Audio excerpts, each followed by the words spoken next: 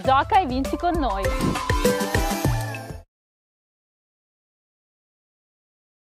Nel recupero della quarta giornata del campionato di promozione Girone D la Savignanese ospita la Stella. Partono forti i padroni di casa, la prima palla interessante capita sui piedi di Mazza ma va alto sopra la traversa. Occasionissima al quindicesimo per Luca Genghini ma il suo tiro è da dimenticare. Al ventesimo l'iniziativa personale di Possenti che prova a sfondare i guantoni di Valeriani. La stella esce dal proprio torpore e spaventa non poco i padroni di casa con il tiro di Vukai che viene strozzato sul secondo palo. Minuto 43 di Giglio sfonda sulla destra, il suo pallone in mezzo trova il rimorchio di Masciullo che per poco non c'entra il bersaglio grosso.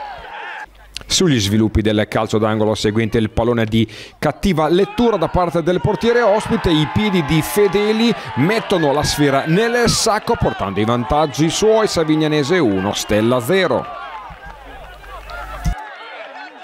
La ripresa non cambia almeno inizialmente il proprio copione con Bullini che questa volta fa volare da campione Valeriani. Gli ospiti non ci stanno e rimettono in parità il match. Ci pensa l'esperto Andrea Renzi a trovare il bersaglio grosso sul secondo palo dove non può nulla l'incolpevole Papi.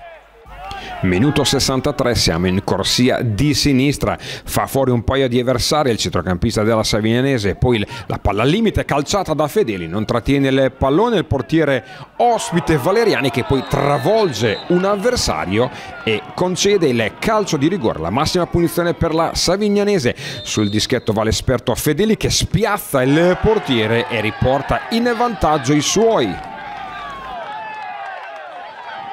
I bianchi vogliono chiudere il match e provano a farlo ancora con Genghini che sfodera un tiro bellissimo che non scende per poco sotto l'incrocio dei pali. La firma sull'incontro la mette Bollini che si invola da solo contro la portiera avversaria, lo trafigge con un tunnel, palla tra le gambe, risultato ancora invariato, Savignanese 3, Stella 1.